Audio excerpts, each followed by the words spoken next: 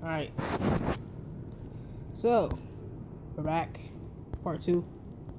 Uh, so yeah, in the last match, I was saying Chris Jericho versus Kevin Owens, United States Championship match. So yeah, that. So yeah, I'm recording this on my phone, you know, like I said in the last video. The maximum recording is 10 minutes. So here's part two. Yeah, so I said I wanted Chris Jericho to win, so I'm going for him. Alright, so yeah.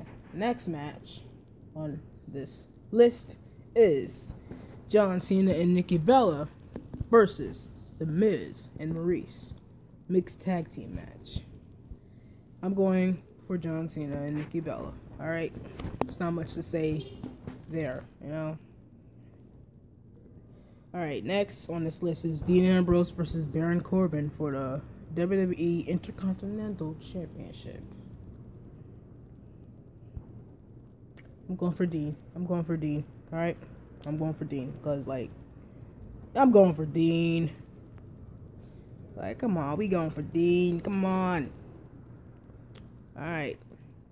Next on this list is Luke Gallows and Karl Anderson versus Enzo Amore and Big Cass versus Cesaro and Sheamus in a triple threat ladder match for the WWE Raw Tag Team Championships. Alright. Alright. My hair is a mess, alright? Yeah, my hair is a mess. So, I'm going for Cesaro and Sheamus. Like, I feel like Enzo and Big Cass is not gonna win. I feel like it's not their time yet. You know, so yeah. So I'm, that's why I'm going for Enzo. Ah, no, no, no, no. That's why I'm going for Cesaro and Sheamus. All right, for that one. Next we have Alexa Bliss. All right, hold up, hold up. Next, we have Alexa Bliss versus Becky Lynch versus Natalya versus Mickie James versus Carmella with James Ellsworth. Okay. And versus Naomi. But I was like, nah, I was looking over this list before this video.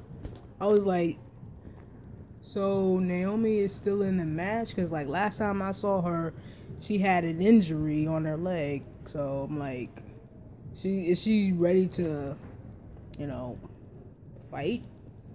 Like, I don't know. Anyway, it's between Alexa Bliss and Naomi because like I, like if Alexa Bliss says she's better than everybody else on the SmackDown roster, then she should win this match to prove it. You know, so she should win this match to prove it.